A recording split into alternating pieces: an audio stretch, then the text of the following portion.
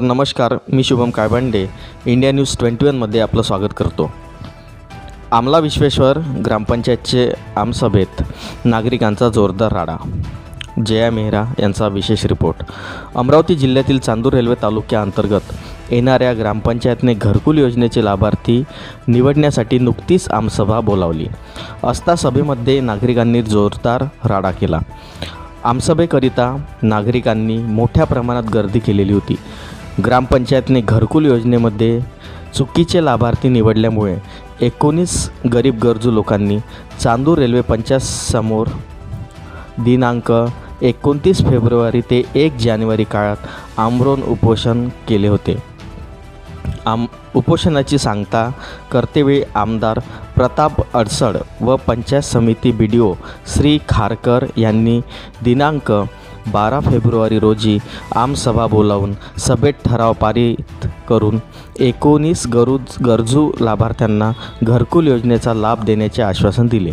तर आमला विश्वेश्वर येथील जनसेवक आज जी विशेष आमसभा घेण्यात आली जी पंचायत समितीचे जे बी डी ओ साहेब आहे त्यांनी जे जे एकवीस लाभार्थी जे उपोषणाला बसले होते चांदूर रेल्वे पंचायत समितीसोबत तर त्या त्यांना जे जे घरकुल मिळण्यासाठी जे गरीब लोक होते त्यांना घरकुल मिळण्यात यावं याच्यासाठी ते उपोषण केलं होतं.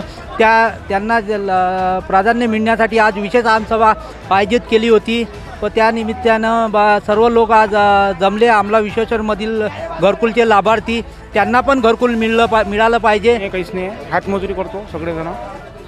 माझं डोमाचं नाव आहे पण दोन दोनशे बारावर नाव आहे माझं.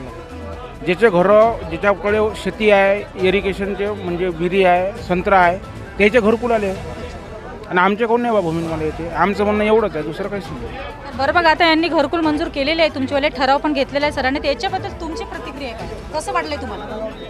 नाही आम्हाला- आम्ही एकोणीस जण होतो उपोषणमध्ये.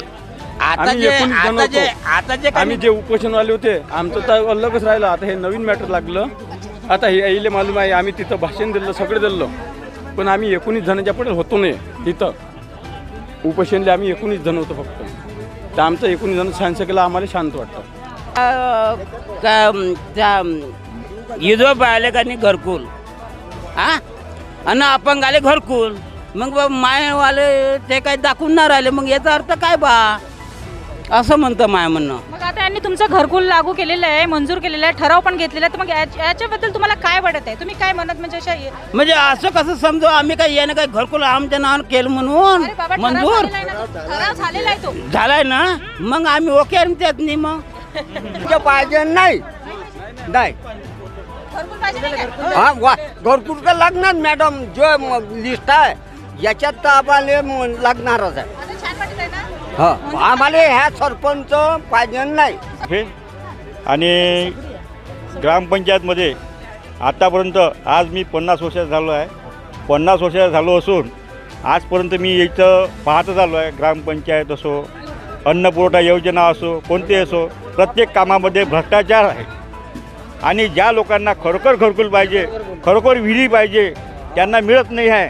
आणि ज्यांच्याकडे सगळं काही आहे त्यांना धान्यसुद्धा मिळते आणि घरकुलसुद्धा मिळते. हां?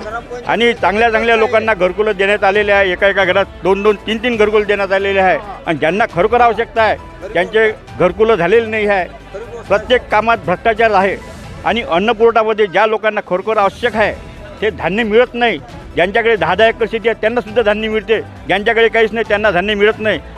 आणि सगळं हे पैसे पैसे देऊन हे सगळं करण्यात आलेलं आहे. याच अनुषंगाने झालेल्या आमसभेदरम्यान नागरिकांनी ग्रामपंचायत सरपंचाचे चुकीचे लाभार्थी निवडल्यामुळे जोरदार राडा करून तणाव निर्माण केला होता. या सभेत बहुमतानी ठराव घेऊन उपोषण करते एकोणीस लाभार्थ्यांना घरकुल योजनेचा लाभ देण्याचा निर्णय झाला व नवीन गरजू लाभार्थ्यांना देखील निवडण्यात आले. आमसभेचे अध्यक्ष सरपंच प्रशांत कुबडे सचिव बुरघाटे व विस्तार अधिकारी रमेश मेश्राम इंजिनियर पायल चव्हाण यांची उपस्थिती होती.